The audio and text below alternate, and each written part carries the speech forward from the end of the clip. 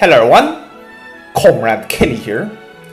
Uh, welcome to a World Conqueror 4 mod review.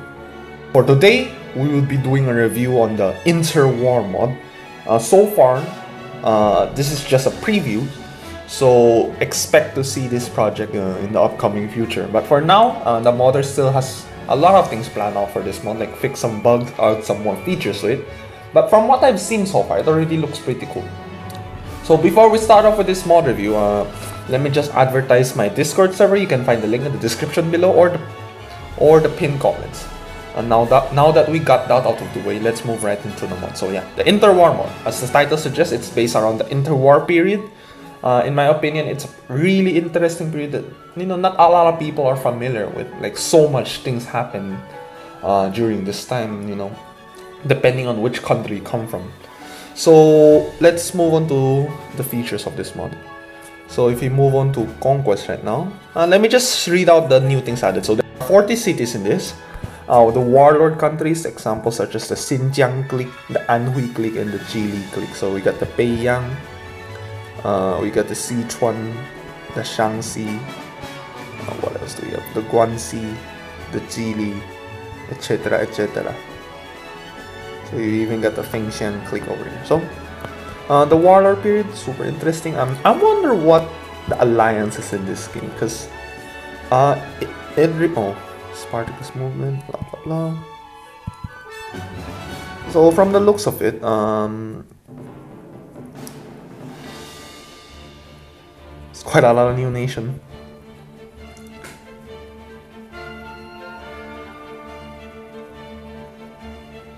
Yep, a lot of new nation. So the alliance uh, really varies, I guess. Seems like yeah, it doesn't look like too fun for uh, the Chinese right now. So judging it, I think Beiyang clique is basically against everyone, every warlord, even the Japanese from the.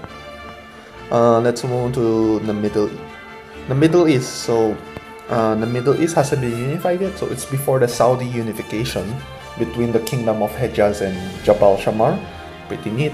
Uh, another thing added is um, Nepal has been added, which is pretty nice. Uh, same with San Marino. So San Marino? Um, it's here somewhere. Let me just check right now.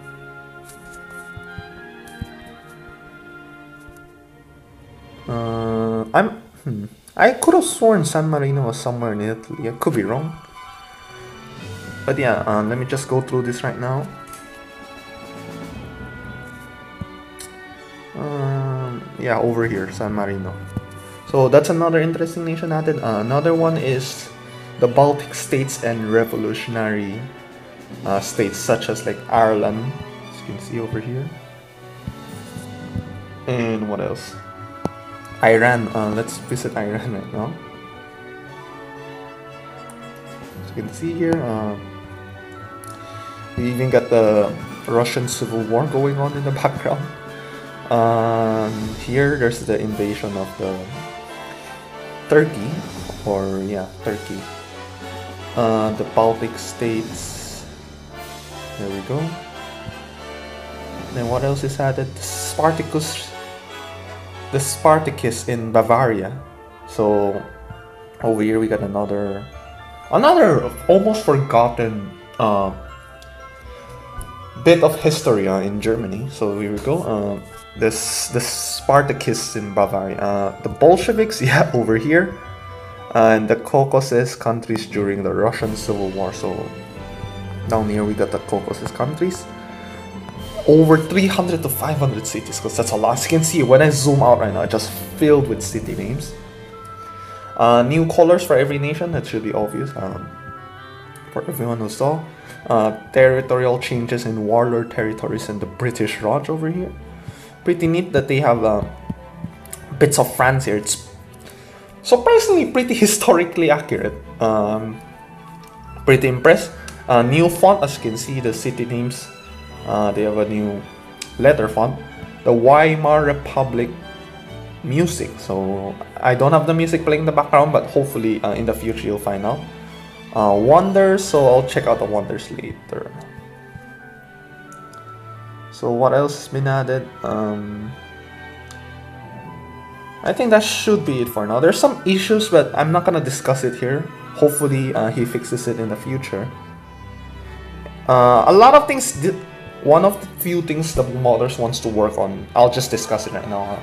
Uh, is the alliances. So, uh, so far, uh, there are some issues within the Allies or Axis. So, like Turkish being neutral, or like the Bolshevik siding with the Germans uh, instead of against them. So, hopefully, we see that fix in the upcoming uh, update.